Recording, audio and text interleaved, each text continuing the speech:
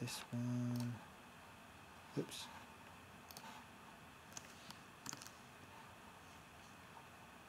Sorry, so this is a bit laborious now.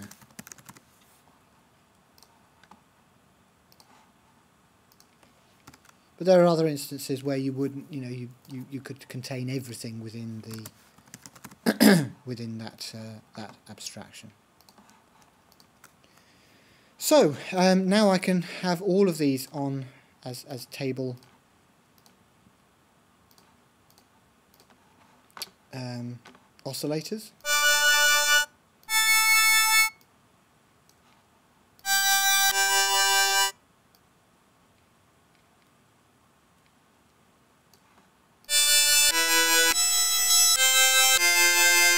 So you get the idea.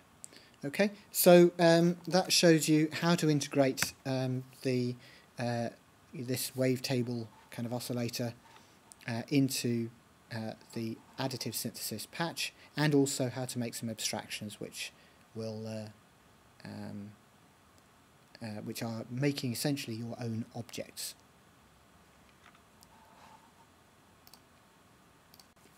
One additional thing, um, I told you that you can't, if you sorry, if you double click on the oscillator oscillator's object and you go in, you can't modify the uh, this subpatch because essentially it's a kind of closed object, if you like.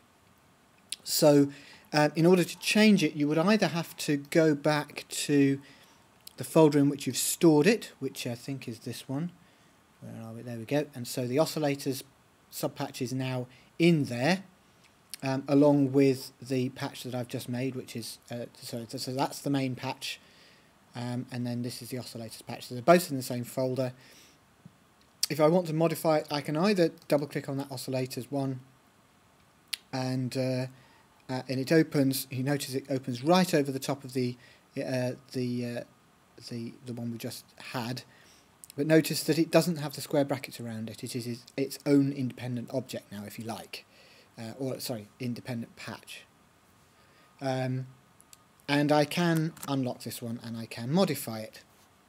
So I can put in, I'm going to put in a, a kind of bogus object for the time being. I'll just put in a, a, a button object.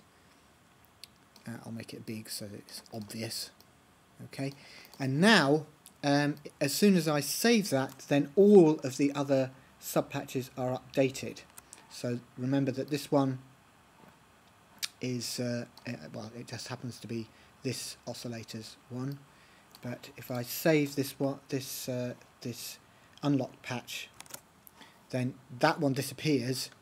Uh, if I then go into this one, then you notice that the button object is there. If I uh, uh, double click on any of these, the button object is there. Okay, so it's basically updated all of them. And that's another great advantage of the abstractions object is that if you've got multiples of these, you want them all to be updated in the same way, you can do that.